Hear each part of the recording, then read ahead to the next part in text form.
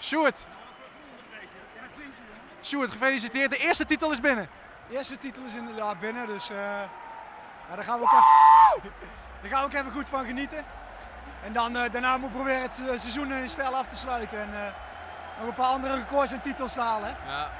De Nederlandse les van Appia hebben we al gehad. Maar als je nou in het Nederlands aan Appia zou moeten uitleggen dat dit een Nederlands feestje is. Je moet blijven! Een Nederlands feestje? Het is een echt Nederlands feestje, dat kent hij niet. Nee, maar het is een soort carnaval, dat kent hij wel. Ja, ja, Romba Zamba. Rens, waar is... Gregor, wil je ons even die fantastische mooie kampioensmedaille laten zien? Alsjeblieft. Hier, hier is die dan. Wat staat erop?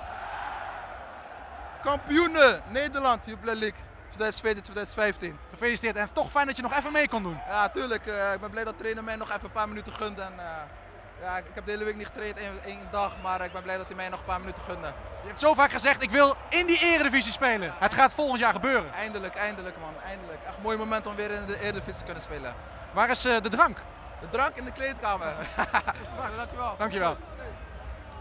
Tom, is het een beetje een goed jaar of niet? Wat een uh, rotzooi jij.